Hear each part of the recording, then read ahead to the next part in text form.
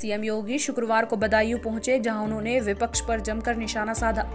विपक्ष पर निशाना साधते हुए योगी आदित्यनाथ बोले कि हमारी सरकार गुंडों और माफियाओं को ठोकती है, उन्हें शरण नहीं देती।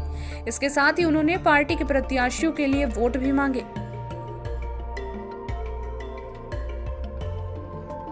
सीएम योगी आदित्यनाथ ने कहा कि हमारी डबल इंजन की सरकार गुंडा माफियाओं को ठोकने वाली सरकार है। बेटियों को बचाने की सरकार है, किसानों की सरकार है। किसानों का गन्ना मूल्य का 800 करोड़ हमारी सरकार ने भुगतान कराया है। उन्होंने यह भी कहा कि उत्तर प्रदेश में दोबारा सरकार बनने पर लैपटॉप बांटेंगे। इस दौरान योगी ने उत्तर प्रदेश में चल रहे बूचड़ खानों को भी बंद कराने की बात कही है। साथ ही यह भी कहा कि किसानों को हो रही असुविधाओं में अब कोई कठिनाइयों का सामना नहीं करना पड़ेगा। हमारी सरकार आई तो हमने सबसे पहला काम किया अन्नदाता किसानों के कर्ज की माफ़ी का।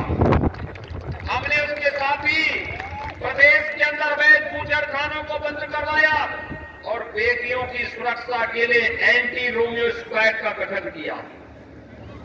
हमारा काम जय जवान, जय किसान का था, हर बेटी को सुरक्षा देने का था। समाजवादी पार्टी की संवेदना किसान के प्रति नहीं तो आतंकवादियों के प्रति थी, इसलिए आतंकवादियों के मुकदमों को वापस ले रहे थे। हमने किसानों का कर्ज माफ़ किया। और भाइयों बहनों, किसान सम्मान निधि में, आपके जनपद में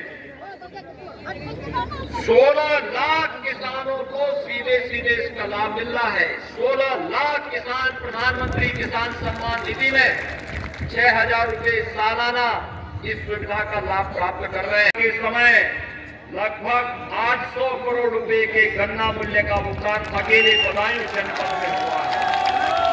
एक लाख साठ हज़ार करोड़ रुपए का गन्ना मूल्य का भुगतान पूरे प्रदेश में हुआ है। और बदायूं जनपद में एक लाख तीन हज़ार किसानों के ऋण माफ़ी का कार्यक्रम भी हम लोगों ने किया था।